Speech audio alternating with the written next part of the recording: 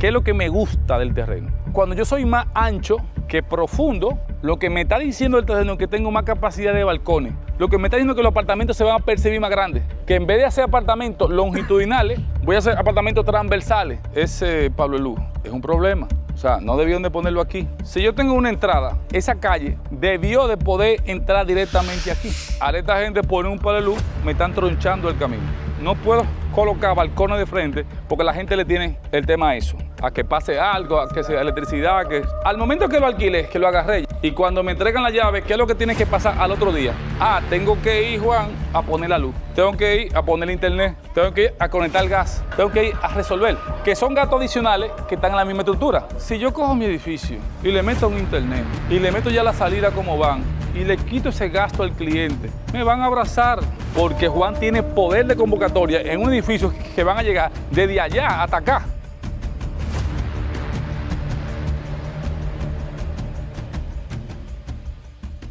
Lo segundo, ese, ese Pablo Luz es un problema. O sea, no debieron de ponerlo aquí. Vamos a analizarlo. Se supone, Juan, porque se supone. Venga a ver. Si yo tengo, si yo tengo una entrada un, esa, calle, esa calle debió de poder entrar directamente aquí. Ahora esta gente pone un palo de luz, me están tronchando el camino. ¿Me entendió? Pero ya hay que vivir con eso. No nos vamos a lamentar. Pero también, al yo poner un palo de luz, no puedo colocar balcones de frente porque la gente le tiene el tema a eso. A que pase algo, a que sea electricidad. Que... Entonces, no me lo van a decir, pero yo sé que lo tengo ahí. Entonces, ¿qué voy a provocar? Que mi estructura, en mis apartamentos, voy a mandar para la parte izquierda las áreas que pueden tener closet que estén de frente al palo de luz. Y donde voy a tener los balcones, los voy a echar para acá, de manera que no tenga mucho contacto físico y que también sea seguro. Y así yo voy, en base al entorno, estructurando mi cuestión. Número uno, edificio aquí. Número dos, no hago ese muro. Número tres, los balcones para allá. Y número los parqueo por aquí. Ahora, viene lo bueno. Yo voy a calcular la distancia que hay del Borner allá. Y aunque no tenga el dinero, voy a diseñar los apartamentos completos, mi espacio, mis medidas. Y me doy cuenta que me cabe un módulo y otro entonces tengo que provocar yo que la misma escalera que estoy trabajando me sirva para que este módulo de apartamento suba y para que este módulo de apartamento suba y quizás para un tercero. Depende cómo yo distribuya mi cuestión, porque son espacios de construcción, las pasillos de la escalera, que estoy pagando, pero cuando los rento no me lo están rentando. Son espacios residuales. Entonces, voy a ver la manera de cómo lo hacerlo. En un futuro también, dejar que esa escalera, dejar el espacio que esa escalera, podamos tener ascensor. Su hermano está, subiendo allí, ¿verdad? Ya hizo, terminó esos últimos dos ahora, pero él quiere seguir después. Quiere seguir después. Ah, entonces uno dice, vamos a ver, ¿cómo es su nombre? Jonathan. Vamos a ver, Jonathan. En la tierra, en esta tierra, supongamos que yo tenga aquí, ¿cuántos metros tenemos? ¿Cuántos son? ¿Cuántos son? 650. 650. Si yo tengo 650 y lo multiplico por 2, ¿cuánto hay ahí? 12, 12, 1300. Si lo multiplico por 4, tengo 2600. Si lo multiplico por 8, 5200. En elevación, ¿qué quiere decir? Que si estoy en el negocio de los apartamentos, aunque no tenga billete ahora, no tenemos nadie nota. Yo tengo que crear las condiciones para yo mañana poder seguir creciendo o mis hijos sigan creciendo. Y eso significa, no es tanto subir para arriba, sino, no, no, es que es la condición para que la gente me pueda rentar. Yo puedo tener 10 pisos, pero con, con escalera nadie va a subir. Entonces, no tengo el dinero para hacer un ascensor, Jonathan, porque no lo tengo, pero sí dejo el espacio estructurado para que este ascensor le sirva para los 1, 2, 3 que voy a hacer aquí, 1, 2, 3 que voy a hacer aquí y pam, pam, pam, pam. Ahora sí me encanta. Para el tipo de personas mayores o lo que sea que no puedan subir escalera. Que son las que me rentan el billete. Vamos a hacer un análisis. Yo veo a Jonathan. Jonathan se ve como billete Si yo pongo a Jonathan, si yo pongo a Jonathan, por ejemplo, ¿verdad? Y bueno, Jonathan todavía es más joven, pero Jonathan, si está billetudo ahora, dentro de 20 años va más todavía. Y yo pongo a un jovencito recién casado de 25 años. ¿Quién tiene más? ¿Por qué me voy a yo a hablarle al mercado que tiene menos posibilidad y no le hablo al mercado que tiene más miedo como Jonathan y yo? Que quizá en un futuro pagaría un poco más por la cortesía de tener un ascensor, que pagaría un poco más por la cortesía de que la estructura sea lo mejorcito de aquí. No es que el apartamento sea más caro, no, no, no, es que no me pueden comparar con el hermano de Juan. Tenemos que superar ese apartamento. Sí. Esa es la idea. Esa es la idea. Y trabajar durante aquí cuatro o cinco años, ¿cómo va a ser la zona aquí, los apartamentos? En el Eso es lo que pasa. De aquel lado, de aquí, de toda la zona. Porque se copian, este se copió con este, se copió con este, se copió. Entonces, claro, pero ¿qué pasa? Ya su hermano que es su hermano, ni yo le afecto a él, ni él me afecta a mí, porque si yo hago lo mismo que él hizo, vamos a competir por el precio. Y no es la idea. Entonces el tema es, si yo hago un análisis aquí en Santiago, ¿y cuántos tienen ascensor? Ah, no, Calderón, ninguno. Claro que no van a tener ninguno, porque mete un ascensor para dos apartamentos demasiado caro. Sí, sí, pero si yo puedo llevar por etapa, Y desde el principio lo pensé. Y yo puedo meter ascensor para 18, ahora sí me cuadra. ¿Me entendieron? El ascensor es caro porque para 3 o para 4, pero para mucho no cuadra. ¿Cómo- ¿Cómo tú ves esta zona en, en futuro? Este proyecto está comenzando. El dueño de una ferretería y tiene varias tierras ahí que va a ser futuro, eh, eh, supermercado, algo así. Eso tú sabes, tiene Sí, varios sí. proyectos aquí, son tres de el mismo nombre. Sí. Y esto está comenzando en realidad, vamos hacia ahora. Antes no había nada, pero al paso se van creando las casas. Entonces, ¿qué, qué potencial tú le ves en futuro a esta zona aquí?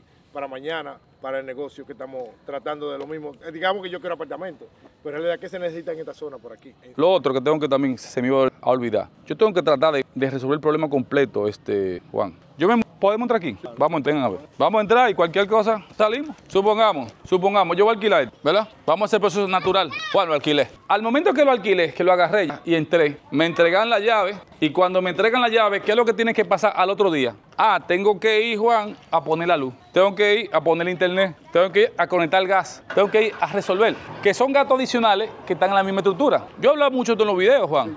Juan, si yo cojo mi edificio y le meto un internet y le meto ya la salida como van y le quito ese gasto al cliente, me van a abrazar porque Juan tiene poder de convocatoria en un edificio que van a llegar desde allá hasta acá. Porque el mismo internet para todo el mundo. Lo mismo que pasa con el gas. Si en vez de que ellos se fajen con una bombona de gas, yo le hago la estructura de gas, ya preconectado, como está en Estados Unidos, como está en muchísimos países, estoy quitando el problema. ¿Y qué pasa? Por el simple hecho de que tengo gas y aquel no viene para acá. Es un 1% que tengo que subirle para poder subirle más la renta. Y así yo voy con la parte social del terreno. Y así yo voy con los paneles solares en las áreas comunes para que no paguen mantenimiento. Voy a poner el área social con mantenimiento. Y así voy con la vegetación. Y cuando entro y comienzo a ver detalles, ¿ok?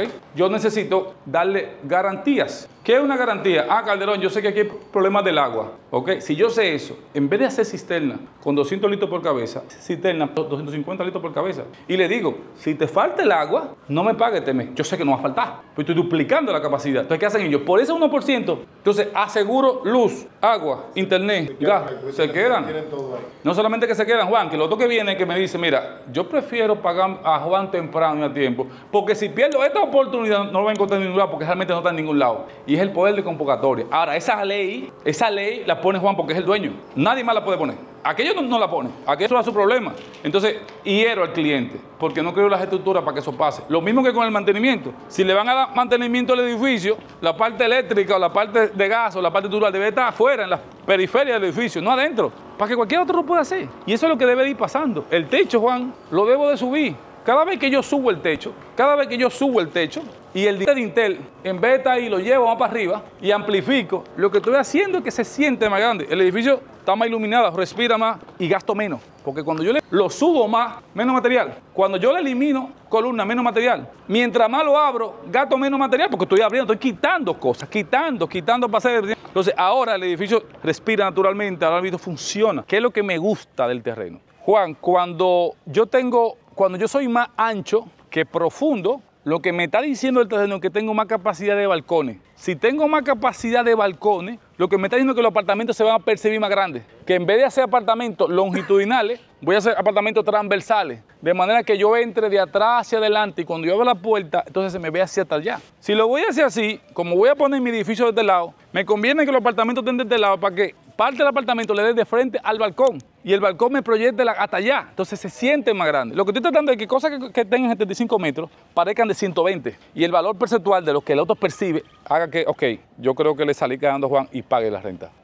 Yo, yo he visto apartamentos de 75 metros y yo lo veo muy pequeño. Yo, ya, yo, lo- yo lo veía así. O sea, Claro, o sea, yo lo he visto. ¿Es verdad? Este no es un 75. eh. Yo he visto apartamentos muy pequeños. muy pequeño. Lo veo yo así. No sé, ya eh, sí. Tú eres que sabes de la medida en realidad. ¿Cuántos hijos usted tiene? Yo tengo una de 7 y una de 20 está ahí. Ujú, Dos hijos. ¿Cuánto tiempo usted tiene viviendo en casa propia? En casa propia, como 8 o 9 años. Es- por eso lo ve pequeño. Porque no es Juan que va a alquilar aquí. No, yo sé lo que tú Es lo que dices. está. Entonces, ¿qué pasa? Que no son cosas para uno personal, Claro. son para negocio. Ah, yo se lo expliqué a él como 10 Claro. O sea, yo he ido al apartamento. Tú no puedes hacer ese tiene, ese tiene yo creo que manera. 85 Nosotros o menos. mansión- Yo quiero una mansión con, con un helicóptero. Pero o sea, La yo pregunta digo, es re- de la renta es lo mismo que yo. Le- Eso es muy pequeño, yo lo digo.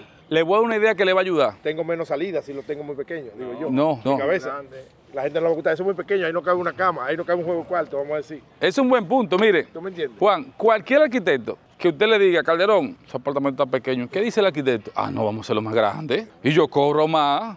y me compro una guagua más grande y me voy de viaje, porque en el mundo de Juan dique pequeño. Lo otro que tengo que tener en- consideración son los parqueos. Los parqueos no pueden ser así. Vamos a comenzar por aquí. No, sí. Cuando este salga, este salga, van todos de reversa los dos. Entonces es lo mismo. Viene este sale de reversa, Y hay que esperar que traiga. viene aquel sale de reversa, tan. Entonces, ¿qué debe de pasar? Ya yo sé que los parqueos del frente vienen de aquí para allá. Yo voy a proyectar eso de manera que un módulo de apartamento me dé aquí adelante. ¿Me entendieron? Y los parqueos para acá y para allá.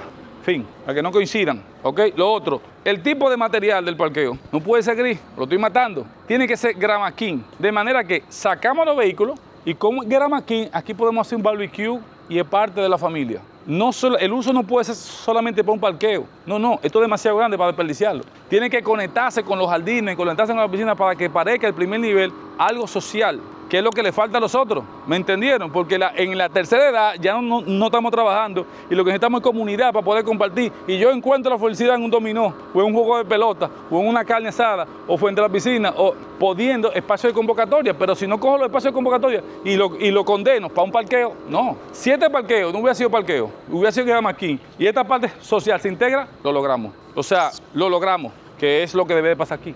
Entonces, yo entendiendo el cáncer de los otros, yo lo convierto ahora entonces en oro. Lo que pasa es que todavía uno no tiene claro qué es lo que está rentando la gente. Y como uno no lo tiene claro, el miedo me lleva a mí a pensar a que, ok, ¿qué es lo que yo quisiera? Mi razonamiento. Ah, yo tengo esto, yo tengo este bolsillo de tamaño, yo pagaría tanto.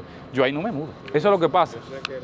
En sí, hay, hay un factor que yo me, me ayuda a darme cuenta cuál es el mercado. Mire, pareciera que, que la evaluación es solamente al pedazo de Juan. No, la evaluación viene de por allá. Cuando yo analizo una zona, lo primero que se necesita es el tema habitacional. Lo primero que yo veo en habitacional, porque la primera necesidad que tenemos todos los humanos es no mojarnos, sobrevivir. Tener un techo donde, está. Claro, ahora, ya que sobrevivimos, ya que lo logramos, ¿ok?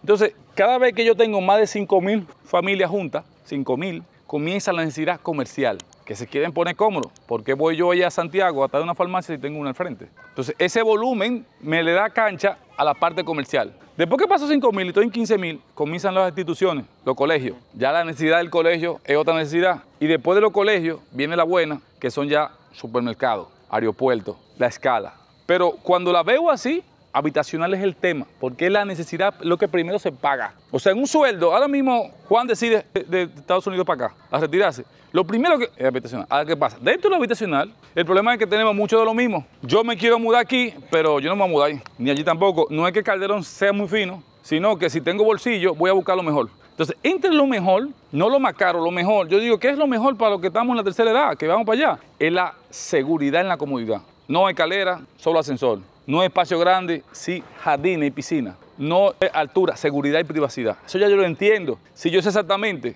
cómo ayudo a Jonathan, cómo ayudo a Juan, pues yo puedo saber cómo dirijo el dinero, el precio, el solar y la genialidad. Eso es lo que pasa aquí. Aquí lo que yo veo es apartamentos crudos, pero tienen que subir el nivel. No puede ser así. Un chin, ¿por qué? Porque ese terreno, ese aquel, ese aquel, por la historia de Santiago, van a venir aquí y van a hacer lo mismo. ¿Por qué? Porque no hay bolsillo. Entonces, si no hay bolsillo, lo normal es eso. En la medida que yo me alejo de eso, me alejo de eso, y el péndulo lo pongo para el otro lado, lo que está pasando es que Juan es el único edificio de apartamentos aquí en Santiago que controla un nicho, un nicho mercado específico. Tiene cualidades que no tienen los otros, en español. Si todos son, si todos son grandes, yo soy muy chiquito y de lujo. Si todos son chiquitos de lujo, yo soy muy grande. Si todos son, esa es la, esa es la. Ahora, ¿qué pasa? En el caso de Juan, que lo va a llevar por etapas, que aquí van a ver claramente cuatro etapas, yo necesito que esas etapas se adapten en el tiempo del bolsillo de Juan. Hoy, Juan, hacemos un edificio de tres apartamentos con la escalera a la izquierda porque va a ser un concepto simétrico. Y vemos cómo esto fluye en dos años o en tres. Si en dos años o en tres yo vuelvo para acá, para la segunda etapa, y veo que todos se me mantuvieron en apartamentos de tres habitaciones, hacemos apartamentos de dos. Si pasan tres, cuatro, diez años más y veo cómo... Es en función al- a los datos. Como esto está vacío, yo soy el lujo, eh, me doy el lujo de comenzar